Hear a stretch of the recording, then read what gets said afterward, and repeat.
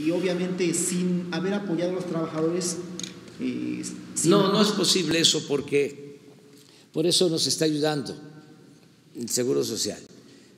Y si se dan cuenta y ponen la lámina de SOE, eh, el mayor número de créditos va para los pequeños empresarios.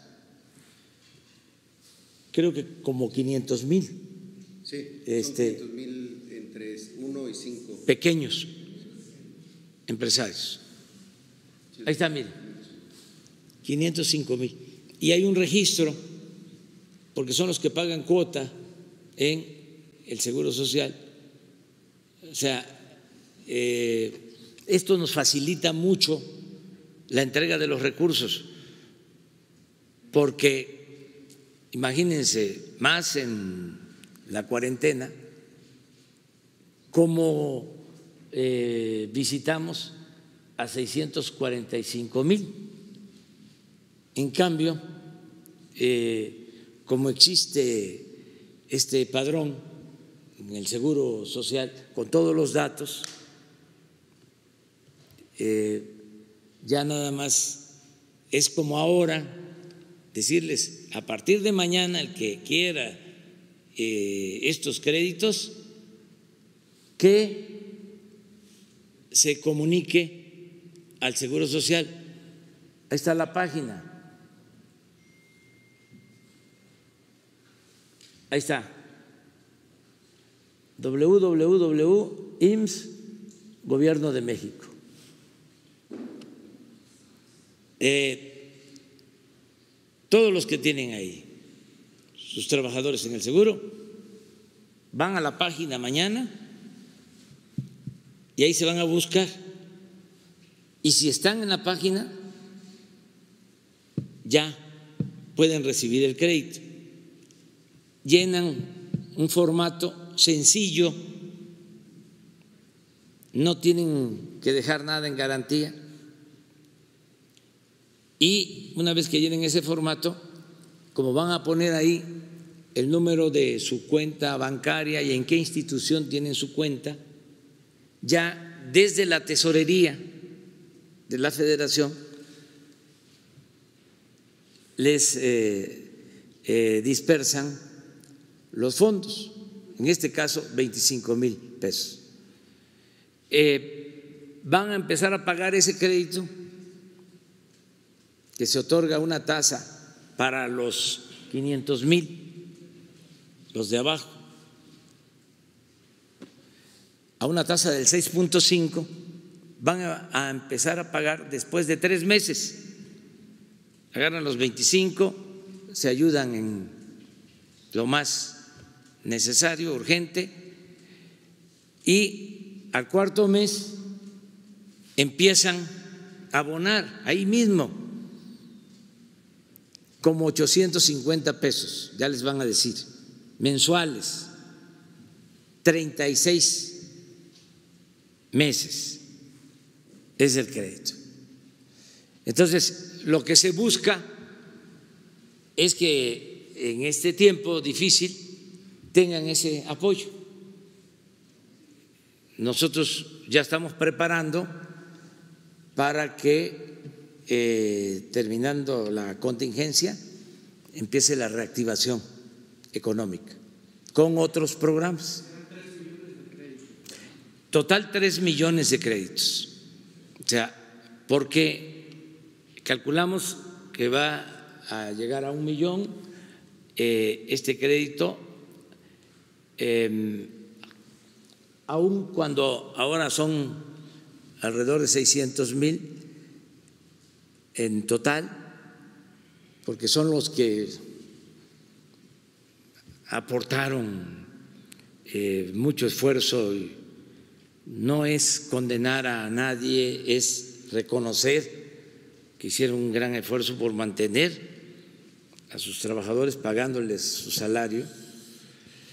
Entonces vamos a incluir también a taxistas de las grandes ciudades ese padrón es el del tránsito, que ahora se llaman esas direcciones de movilidad, pero antes era tránsito.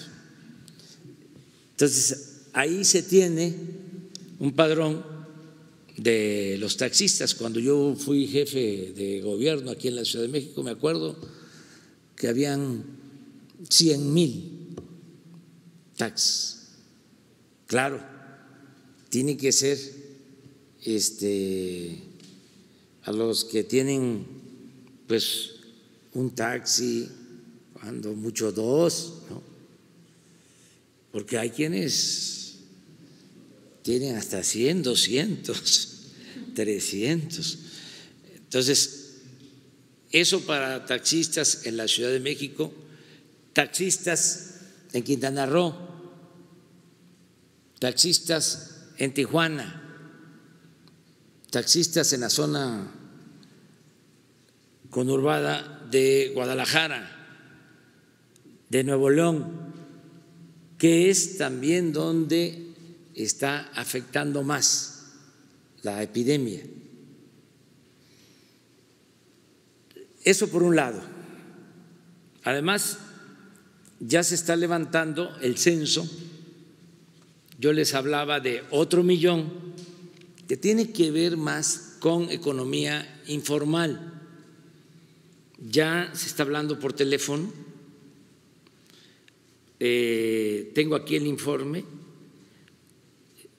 Me dicen, hemos hecho 108 mil contactos telefónicos, de los cuales 57 mil han aceptado eh, en crédito y han enviado la foto de su negocio. Se avanza a razón de 25 mil colocaciones reales diarias. Todo esto por teléfono. Como ya se decía el censo, nada más es decir, se trata de esto. Eh, aceptas, ya dan sus datos, para saber qué sucursal bancaria les corresponde. Ese es otro millón, así. Y otro millón es el que tiene que ver con los créditos de el ISTE para eh, trabajadores al servicio del Estado, que van a ser como 640 mil créditos.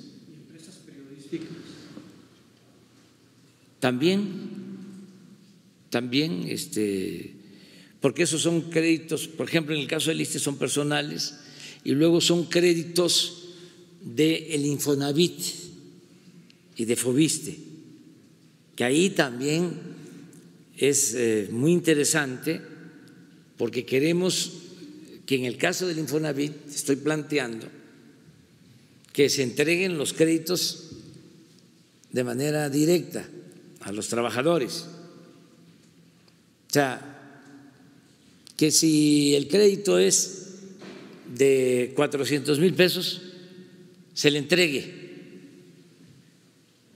al trabajador, que no haya intermediación.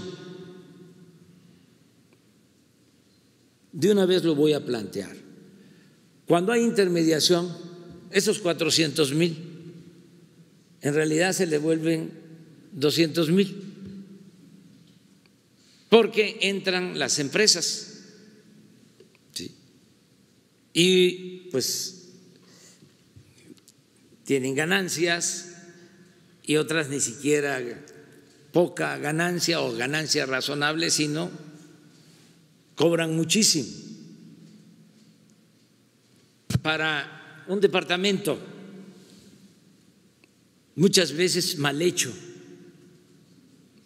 en barrancas, en sitios alejados donde no hay comunicación, huevitos. Entonces, ¿por qué no el mismo trabajador con su dinero decide comprar su terreno y empezar a hacer su casa y puede ser que le alcance, que le haga bien a su gusto y que ahorre. Y entonces también nos ayuda, porque lo que queremos es fortalecer el criterio de que el gobierno somos todos. Entonces, ese eh, beneficiario con el crédito, pues va a contratar a maestros albañiles, a trabajadores, y al mismo tiempo que está haciendo su casa bien hecha, ahorrando, porque no va a repagar los materiales de construcción, al mismo tiempo está dando trabajo a otros eh, compañeros, personas, albañiles, electricistas. Entonces, si soltamos así 400 mil créditos, son 400 mil frentes de trabajo. Sí, ese dinero lo pasamos por las empresas, no baja completo, tarda.